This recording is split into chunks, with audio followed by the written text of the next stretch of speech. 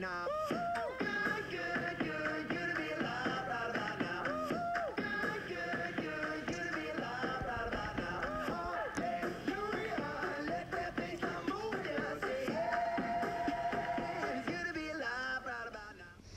What's up, guys? It is Carter, and today is a really, really happy day for me as Star Wars has just announced that the orange lightsaber has become canon.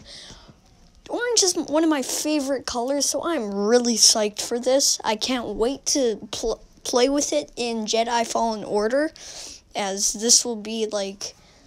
I'll have my lightsaber decked out with like Electrum and orange, an orange crystal. This is going to be so amazing. What do you guys think of it? This is just an unbelievable day for me, and tomorrow we'll be getting the new The Rise of Skywalker trailer, so this is just absolutely amazing.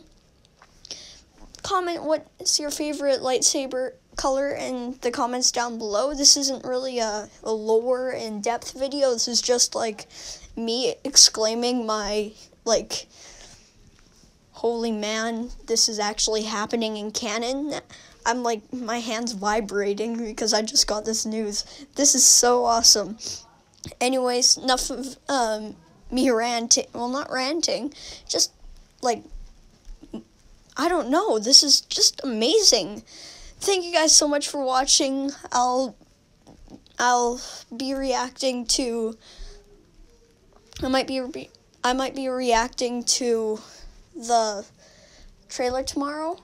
Do you think what do you guys think? Do you think that it will appear in episode 9 or not? Thank you guys so much for watching. May the force be with you all and have an amazing day.